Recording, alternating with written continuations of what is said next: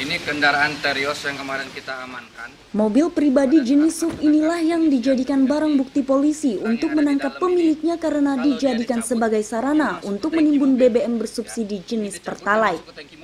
Modusnya yakni dengan mengubah tangki BBM yang normalnya 46 liter menjadi 200 liter.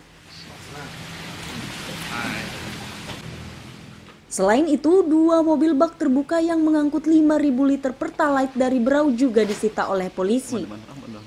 Rencananya BBM yang dibeli dengan harga Rp10.000 per liternya itu akan dijual dengan harga Rp11.250 per liter.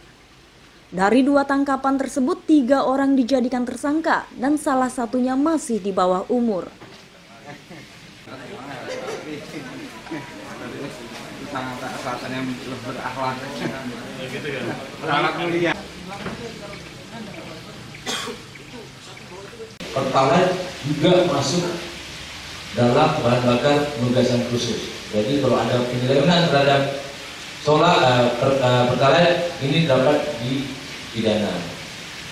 Kemudian juga perlu saya sampaikan kepada rekan-rekan semua terkait status terkait tersang terkait AR tadi ini adalah anak yang berkonflik dengan hukum.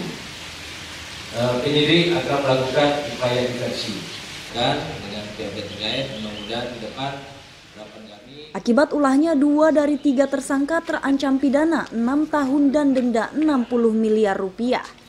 Sedangkan satu tersangka yang masih di bawah umur akan diproses melalui diversi. Amir Hamzah dan tim liputan melaporkan dari Kutai Timur.